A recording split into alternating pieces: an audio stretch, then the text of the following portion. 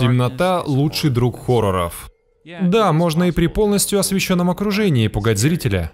Но когда ты не видишь что-то ясно, твой разум начинает заполнять пробелы. И когда твой разум создает пугающие вещи, он исходит из твоих страхов и создает страшные образы специально для тебя. Но для того, чтобы это работало, нужна правильная, неподдельная темнота. Фильм, в котором есть отличные сцены с хорошей темнотой, это «Спуск». Часто кажется, что все освещено только фонариками на персонажах, и это страшно. Что угодно может скрываться в этих больших неосвещенных областях. Что-то может выскочить в любую секунду. В этом же году, когда вышел спуск, был выпущен еще один фильм, в котором люди застряли в пещере с монстрами. Но этот фильм выглядит вот так. Откуда весь этот свет? Зачем персонажам вообще эти фонарики? Вы можете видеть практически все. Сейчас вы можете подумать, что было бы легче просто осветить сцену одним фонариком, чем освещать всю сцену большими киношными фонарями. Но это не обязательно так, так как это может стать более сложной задачей. Если мы следуем за персонажем с фонариком, это может выглядеть великолепно, очень жутко. Ограниченные обзоры только силуэт персонажа. Но когда мы развернем камеру, и свет фонарика будет направлен на нас, мы получим что-то вроде такого. Что выглядит круто, но периодически мы бы хотели видеть лицо персонажа. Так что нам придется сделать сделать что-то такое. Поставить парня с белым отражателем, идущего рядом с камерой. Когда актер направит свет фонарика на отражатель, свет отразится назад и осветит актера. И мы делали такое. И я могу доказать это, потому что вы можете увидеть сам отражатель прямо вот здесь.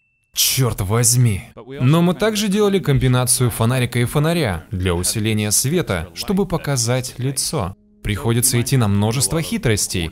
У нас может быть дополнительное освещение, которое мы увеличиваем и уменьшаем, чтобы выделить особые детали, и все становится более точным. Если у вас есть свет, равномерно освещающий все, вам не нужно такое уточнение. Персонажи могут свободно перемещаться куда угодно, и вы можете работать гораздо быстрее. Большая проблема с правильной темнотой, насколько сильно мы можем все затемнить.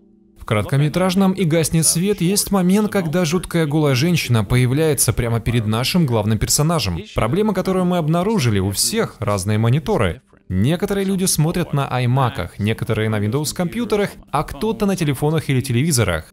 Многие просто не увидели голую женщину. В зависимости от настроек гаммы на дисплеях, не всегда помогает даже увеличение яркости. У нас даже возник вопрос, а не вселился ли в нашу короткометражку призрак, потому что у одной женщины был призрак в фильме, когда она смотрела его на своем компьютере, но на компьютере ее друзей там не было никого. Мы, разумеется, любим такое. Люди думают, что ваш фильм ужасов населен призраками, но это становится проблемой, когда вы снимаете голливудский фильм «Проклятие Аннабель. Зарождение зла». Вы должны убедиться, что достаточно людей увидит то, что они должны увидеть. В фильме есть сцены, где я хотел, чтобы люди едва могли видеть вещи в темноте. Я хотел, чтобы они наклонились вперед и прищурились прищурились, не будучи полностью уверенными в том, что они действительно видят. Так, раз экраны телевизоров и компьютеров бывают разными, что же с нашими киноэкранами? То, что тут едва видно на этапе цветокоррекции, будет полностью потеряно в кинотеатрах, где они, возможно, не меняли лампы проекторов целую вечность. Эти вещи дорогие. Некоторые кинотеатры могут использовать лампы так долго, как это вообще возможно. Так что нам нужно было установить лампочку в проекторе на постпродакшене на очень низкое значение, чтобы имитировать действительно дерьмовое качество киноэкрана. Если мы все еще могли разобрать вещи при таких настройках, тогда мы знали, что у нас все в порядке. Это хороший баланс, который нужно найти, и это может быть очень трудно. Необычный, но действительно интересный способ изображения тьмы в фильме «Не дыши», где не используют форму ночного видения. Мы в зрительном зале видим больше, чем персонажи, но это все еще страшно и по-настоящему эффективно. Особенность ночного видения заключается в ограниченном радиусе действия, поэтому когда вещи уходят далеко от камеры, они поглощаются темнотой. Так что да, делать темноту в кино может оказаться удивительно непросто, но для хоррора, в частности, вам нужна хорошая темнота.